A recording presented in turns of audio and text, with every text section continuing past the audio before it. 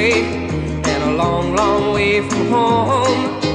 When I met an old man singing by the road,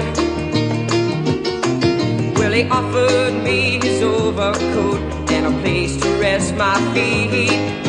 But when I tried to thank him, he just smiled and sang to me.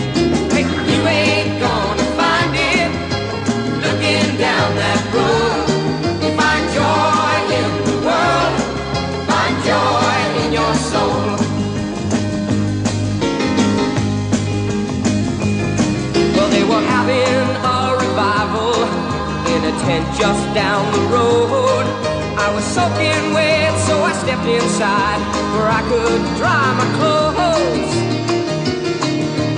Standing right in front of me was a crippled soldier boy, but those crutches didn't keep him from singing out with joy.